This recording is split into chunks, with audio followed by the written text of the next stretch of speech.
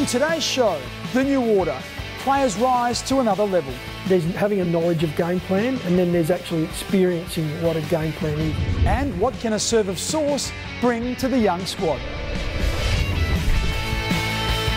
Hi, I'm Mark Bickley, and welcome to a new season of The Crows Show, brought to you by the new Pork Belly Deluxe Burger, only at Hungry Jack's.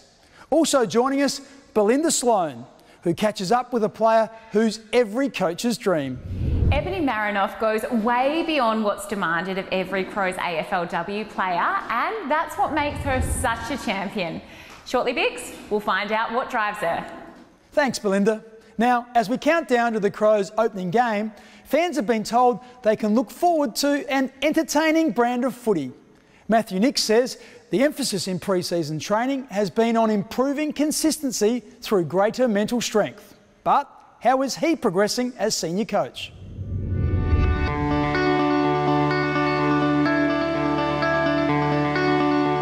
most of my developments come in, in listening, spending a lot more time opening up, listening to players, listening to fellow coaches, uh, and get an understanding of where they sit. And we feel like we're well and truly ahead of where we were this time last year. And now it's just a matter of a little bit of luck coming into to round one that uh, we're all available and we can have a good hit out against Freo. Chayce Jones, has he made the necessary adjustment? You bet he has. Drives it through on the There's having a knowledge of game plan and then there's actually experiencing what a game plan is or uh, playing at the level. And our guys last year, they, they were able to add to their experience on field. So from a coaching point of view, we've got real confidence in the fact that our group are now 12 months on. More importantly, it's 20 odd games. These guys have now had a season under their belt more than they did last year. Um, they got things right during that season and it was really pleasing to see them play some good footy. They also got things wrong at times and, and what we, I guess, want to make sure from here is that we've learnt from those mistakes. Keezy, great look coming through here. I think if our Crows fans continue to come out, they'll enjoy some really exciting footy. You know, we're looking at this year about doing small tweaks around our game plan. We want to play an entertaining style of footy. We want to be aggressive with the footy.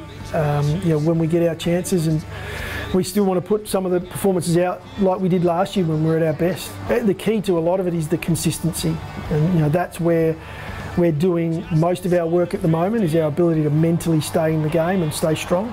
Um, but what I what I can say is if you know if stick with us. The boys are they're going to play an exciting brand for you. It's going to be an entertaining brand of footy. It'll be the DNA we talked about last year, where we're, we're in the Oppo's face um, and we're up for the fight. Up for a fight. That's what we want to hear. Well, the squad has certainly embraced the new regime of high performance manager Darren Burgess. He arrived at the club as one of the best credentialed specialists in sport, having helped Melbourne to last year's Premiership and with Premier League experience at Arsenal and Liverpool. He's had an immediate impact, driving players to an extra level of fitness. In a major coup for the Crows, Melbourne Premiership winning high performance manager Darren Burgess will be at Westlakes next season. So what attracted me to working with the Crows was the opportunity to help develop a young list. Um, we've got a pretty young coaching group as well, uh, so to work with Nixie again, uh, but predominantly to, to, to, try and develop a young list and, and see it through a journey to, uh, to achieving the ultimate success.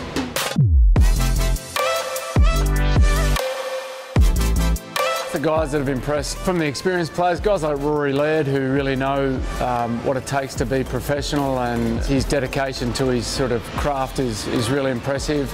Uh, guys like Ned, Mc, Ned McHenry who just never stopped working and, and Riley Thilthorpe. Um, yeah, for such a young kid, his dedication, uh, often I'm trying to hold Riley back a little bit, but honestly the playing group have been unbelievable. Their, their work ethic and their capacity for work is, is really uh, exceptional and a credit to the previous fitness staff. Our benchmarks are typically win-loss. You know, that's what we're all here on the same path. We want to win games. So, uh, although we look at injury rates and, and I guess GPS metrics in games and things like that, predominantly no one cares if you run more if you lose. So, um, yeah, we're, we're all about wins here. Certainly a great pickup for the Crows. Stay with us. After the break, Belinda Sloane meets the club champion, stretching her ability.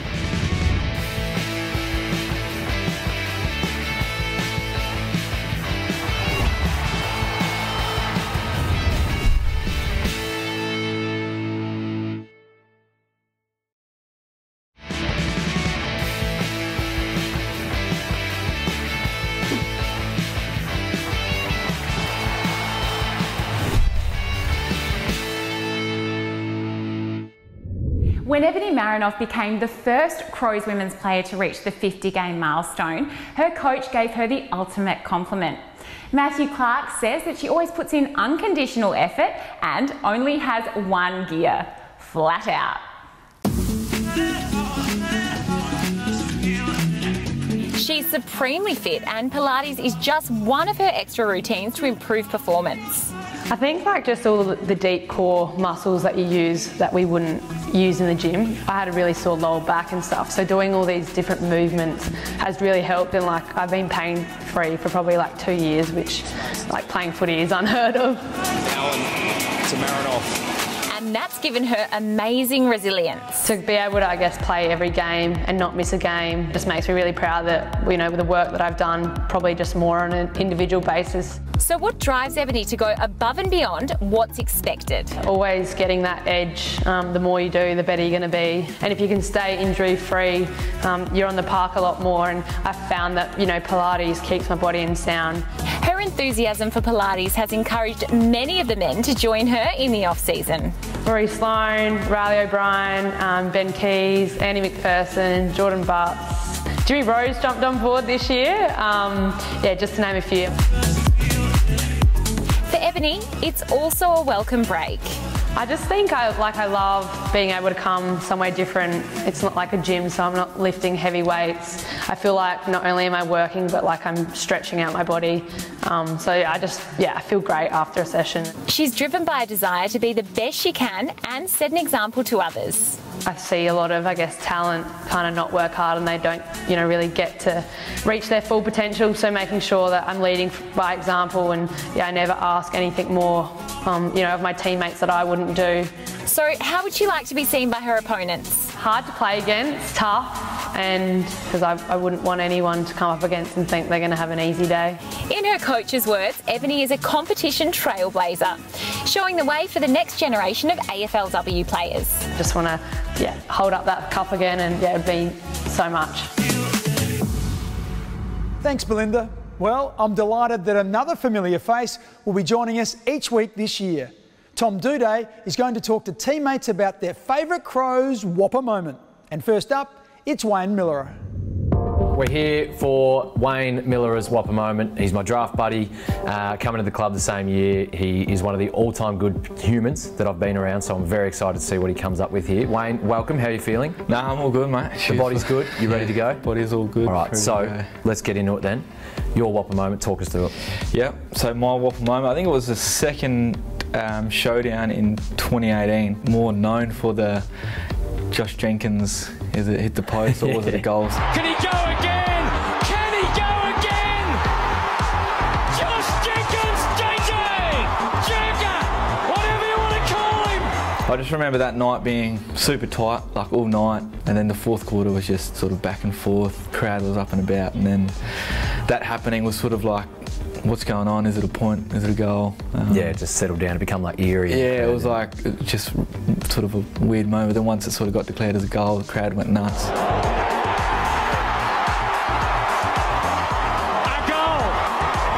Were you on the field at the time? I was on the field at the time. I reckon I, I probably was around sort of 60 metre mark. I'm sort of JJ's, I just remember JJ saying set up for zone, so yep. I was like, what a, like all right, we'll set up for a zone, but I sort of thought it was a goal. And then you're looking at the replay like, does that look like it hit the post? yeah. Thank you for joining us. No, no, um, thanks for having me. That's a great Whopper moment. That's something that I know a lot of Crows fans will love and remember, and Port fans will probably despise you for bringing it up. But thank you for joining us. It was no. good to chat. Thanks, Sammy.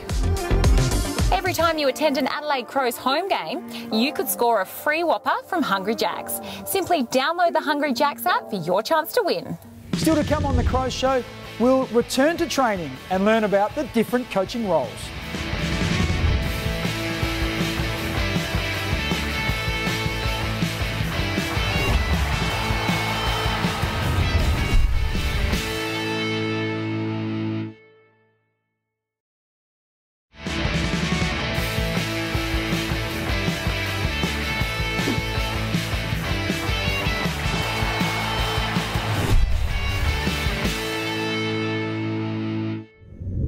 Welcome back to the Crows Show. We're in the Adelaide Oval change rooms, and as the season unfolds, we'll show you some of the other game day facilities. Now, when players hit the training track, Matthew Nicks calls the shots, but he's supported by four assistant coaches and the high performance team. So, how do they all work together to achieve the best outcome? Thanks to the club's long standing association with Dr. Jones and partners, we can get a clearer picture of what happens. Main training sessions are designed uh, mainly by Burgess at the start. He'll go through from the fitness point of view, um, how many minutes we, he wants to get out there, what sort of work rate he wants. So we, as coaches in conjunction with him, will will finalise, I guess, the length of the session, and then we uh, come up with the drills. We vary with the detail we give the players before each session. So like sometimes we will we'll have a strong educational session, go through clips, go through vision, um, have a big discussion on areas we need to improve or, or get better at. Um, and sometimes we might just hit them straight out there, get out there, let's get into it straight away and treat it more like a game. So um, we do vary that, but we certainly post session go through a fair bit of what we've done and, and, educate the boys and show them on the things that we are doing well and, and things that we still need to just sharpen up on.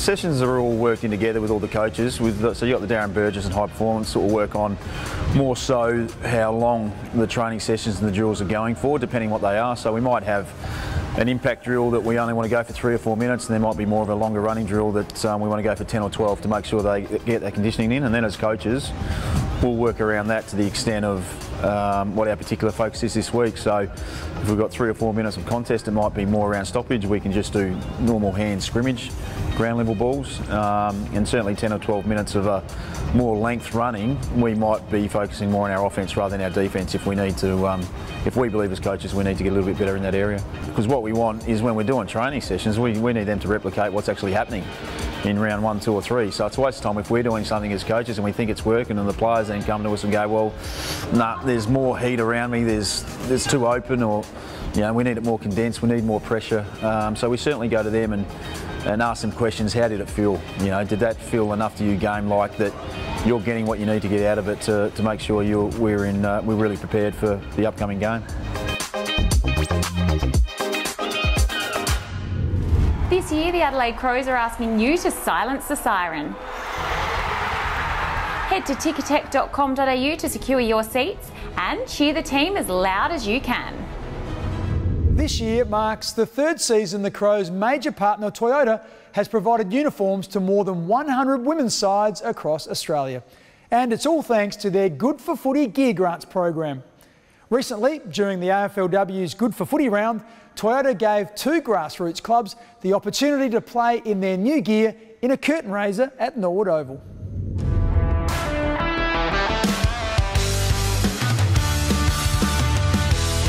Hi, my name's Taylor Eastwood. I'm the head coach of Mount Compass Football Club. To come all the way out to Norwood before uh, the Crows game is, is such an honour and the girls are loving every minute of it. My name's Georgie Evans. Uh, my nickname's G. I've been playing on and off my whole life and I play for Smosh West Lakes Football Club. It's a huge privilege to be playing before an AFLW game, especially growing up for me being um, a senior player now. I didn't have any role models to look to. So now that there's AFLW, I love that I have all these players to look up to and you know the best in the business to be playing in front of them is just amazing, it's unreal. I'm Brad Day from the Smosh West Lakes Footy Club, um, coach of the senior A grade. Tired of Good Footy programs uh, are fantastic. Um, women's footy is obviously just growing every year and we've seen that. We've had um, fantastic numbers at our club. We're going to field two women's teams again this year. I'm Jade Blake. I'm the women's football director at Smosh West Lakes. The Toyota Good for Footy grant in particular has been super helpful for Smosh Women's. Um, yeah, it's community football. It, uh, we just don't exist without grants like that and it just creates opportunities like this today. So yeah, they're so important to us. The Toyota Good for Footy program has been awesome for our club. So we, have been able to get new jumpers um, and the facilities that we've been able to use with the grants. It's really grown our program um, and yeah, the girls have really benefited from it. Grassroots footy appreciates all the support it can get. Now, Big Sam Jacobs, well, he's been a fan favourite for ages. He has a new role this year, and after the break, we'll find out more.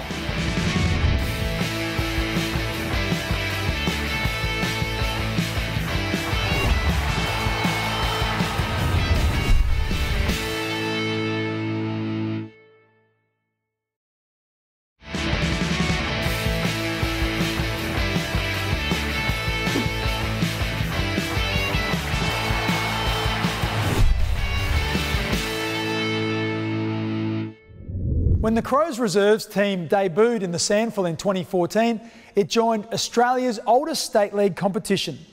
This year, the side has a couple of high profile additions assistant coach Sam Jacobs and former top 10 national draft pick Nathan Freeman. With the help of Bendigo Bank, let's check out how the squad is shaping up.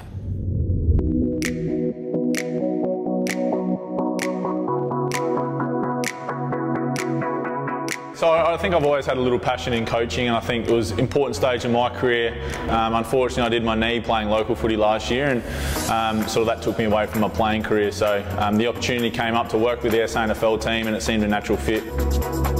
For me, I think I think the SANFL group just complement the AFL guys. You know, it's been obviously been well spoken about, and, and it's no secret that we are going through a rebuild at the um, AFL level, and hopefully we're coming to the end of that. But the SANFL guys we've got together are, are probably you know, hardened SANFL players, if you want to call them that. Uh, a lot of guys have played league footy in the past and um, they're bigger bodies and I feel, you know, they've got pretty strong leadership around them. So I think when, when the younger guys come back from the AFL system and are still learning to play SANFL footy, these guys that are in our SANFL development squad um, will be able to help them and, and lead them in the right way.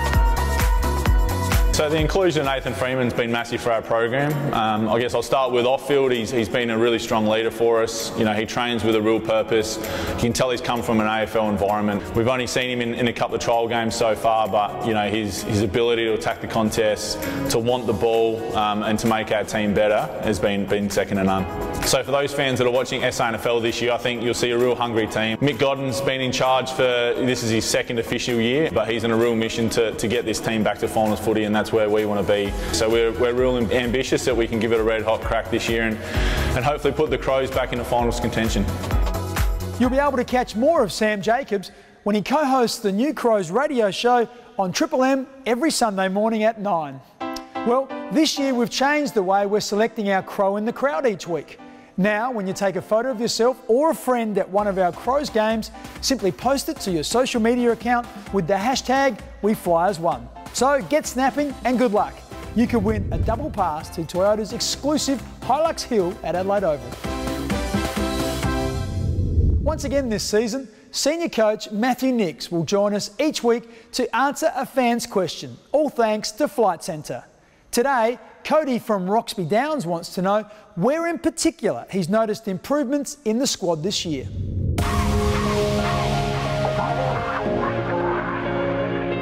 Uh, thanks for your question, Cody. Look, from an improvement point of view, probably the standout has been our on-field leadership. We've, uh, we still have a young group, the youngest in the competition, but in amongst that, we've got some outstanding leaders, uh, especially on the football field. You know, guys like Ned McHenry, who stepped up, he's become a really loud voice out on the ground. Uh, Chayce Jones behind the ball. McPherson's been outstanding behind the ball. Tommy Doedee, who's who's obviously uh, you know been flagged as a leader for the footy club, has has come along again. So that's been the most pleasing part is our ability to to understand how it is we play and then be able to voice that and educate it you know out on the ground. That just about wraps up our first Crows show for 2022. The opening game against Freo is not far away. Don't forget to keep an eye on at the Crows Show on Twitter for all the latest news and check out the club's social media accounts Facebook, Twitter, and Instagram. Thanks for your company, and together with Belinda Sloane, I look forward to joining you again next weekend on 7. Bye for now. This program was proudly brought to you by the new Pork Belly Deluxe Burger, only at Hungry Jack's.